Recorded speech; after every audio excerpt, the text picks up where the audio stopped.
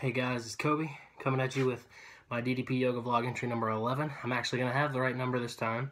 Um, first things first, look at this. See all this? All this right here?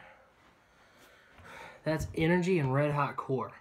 I can't believe that. I haven't worked that hard on energy and red hot core in a long time.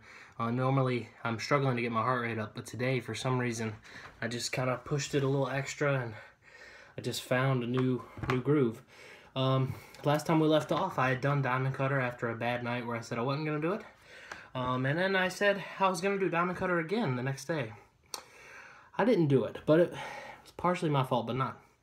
So I got locked out of the house. And I spent most of the evening trying to get the keys back to get in.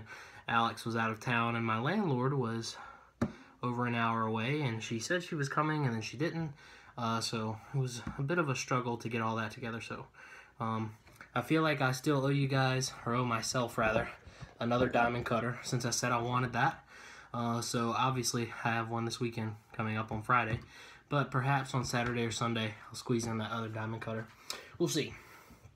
But anyways, uh, in the spirit of going to bed early and to getting into good habits, um, it's already 11 it's 11.05, so I can shower really quick, fold the clothes, and go to sleep um, before 12. So it's exciting. I'm going to keep going on this good kick. Um, ate kind of bad this weekend, but I stayed under my calories. It's just kind of been alone all weekend because Alex has been out of town, so I need to work on just being a little bit stronger when I'm by myself. But I had a good dinner tonight, and I mapped out my meals for this week um, to help that, so I think that's a good way to counteract that. But anyways, uh, yeah, so, Energy and Red Hot Core, freaking awesome tonight.